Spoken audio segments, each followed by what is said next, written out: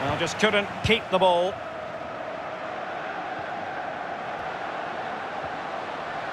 Ronaldo. And now Danilo Pereira. So tight this game. Can they forge ahead? Well, they would have done had it not been for the keeper. Well, he was so sharp, the goalkeeper there, wasn't he? What a wonderful save. Ronaldo! And a goal!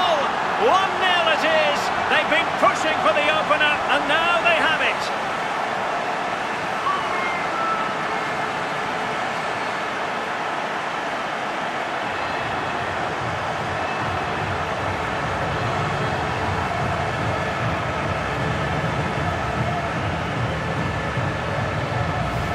Well, here's the replay, and enjoy this passage of play. It's lovely to watch. Superb passing, but as good as the move is,